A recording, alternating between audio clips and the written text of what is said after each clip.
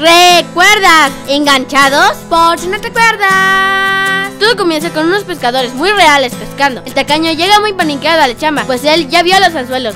¡Los anzuelos! ¡Los anzuelos!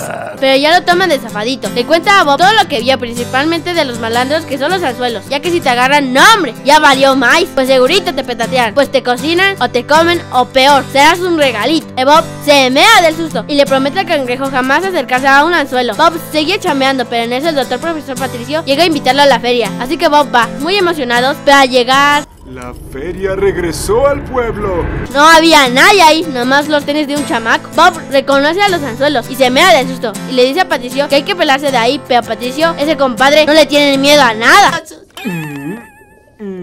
A nada. ¡Patricio! ¡No lo hagas! Vean nomás. ¿Esto te parece peligroso? Bob le está dice y dice que hay que irnos, pero se llevan a Patricio. Hijo Manuel Bob no sabe qué dientes hacer, pero Patricio regresa ya que se tiró antes de llegar a la superficie. Así que Bob, bien divertido eso, y que se monta también. Y pensar que casi se petatean ahí estos dos, ¿eh? En el crustáceo cascarudo, las cosas están feas, pues Calamardo no la arma para chambear. Le dice al tacaño que Bob tomó un descanso y este casi le da un paro.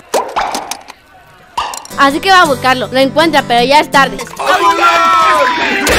Ya estaba chillando el tacaño, pero al ver que volvieron, no hombre, les mete la regañiza de su vida y les dice que hay algo peor que la tienda de regalos, y es que pueden convertirlos en atún. No hombre, estos se paniquean. Y ahora sí, los dos prometen jamás acercarse a los anzuelos. ¡Madre perla! ¡Fuego a popa! Al día siguiente Bob se va feliz a la chamba, pero Patricio le dice que aguante, que mejor se lancen a jugar con los anzuelos. Pues Patricio no le hará caso a ese viejo loco, dice. Así que él sí se va a jugar. Bob quiere también, pero se resiste, aunque no pudo por mucho tiempo.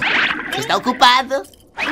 Todo bien, pero salta que escucha. Ya lo engancharon al güey. Y hijo, mano, en corto se va al crustáceo para pedir ayuda del cangrejo. Al llegar ahí le dice al cangrejo que lo ayude. Este le dice que nomás se quita el pantalón, pero como está lleno de chicas el restaurante, pues a Bob le da pena. Como ya no lo andan jalando, Bob se los quita, pero... Su truza también está enganchada Y como Bob no quiere, el cangrejo se despide de él Hijo, mano, el Bob sintió que el arma se le fue Pues ya lo estaban jalando Hasta que... Todas se burlan de él y Bob se va a su casa. Y resulta que todo fue un plan de Don Cangrejo para darle una lección al pobre de Bob. Un trauma de por vida le dejaron nomás. Pero bueno, siquiera no quedó como Patricio. ¿Quién tiene un abridor de latas? Y así finaliza este episodio. Ahora recuerdas, uno de los más divertidos. No olvides suscribirte y compartir este video para llegar a más gente. Me apoyas mucho con tu like y comentario para que YouTube nos trate mejor. Los quiero a todos. Adiósito. Está